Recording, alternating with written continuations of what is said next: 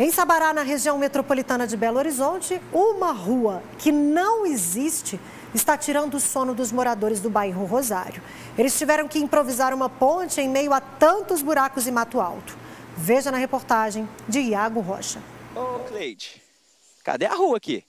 Ah, não tem, né? Não tem, não. Essa aqui é a rua Severa do bairro Rosário, em Sabará região metropolitana, pertinho de Belo Horizonte. Aqui, inclusive, a chuva levou parte da, do que seria a rua, na verdade, e os moradores tiveram que improvisar esta ponte. E o perigo aqui é para todo mundo. Durante a reportagem, o nosso auxiliar sentiu na pele a falta de segurança e acabou caindo. Todo dia essa luta aqui? Todo dia. Essas buraqueiras aí, difícil. Outra reclamação dos moradores é sobre o mato alto, que tomou conta. Há dois anos que limpa, dá uma limpada aí, arruma a rua, pra gente tá passando.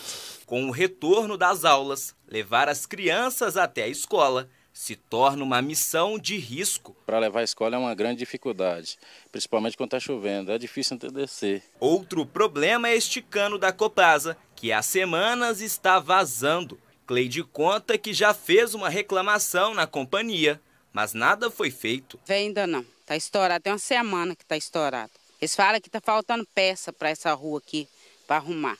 Segundo os moradores, ruas próximas foram asfaltadas, mas a rua Severa ficou para trás. O seu maior desejo aqui, ver como aqui um dia? Um calçamento, né?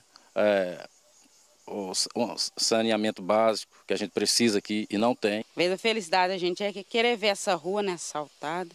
E parece que ele esqueceu de nós aqui. A Prefeitura de Sabará informou que equipes das secretarias de Obras e Meio Ambiente vão até o local para avaliar a situação. E informou ainda que está sendo feito um projeto de intervenções que vão resultar em solução definitiva. A Copaz informa que uma equipe também vai ao local para verificar a situação e tomar as previdências necessárias para executar a manutenção. A gente vai continuar acompanhando a situação dos moradores do bairro Rosário, em Sabará. A Federação das Indústrias de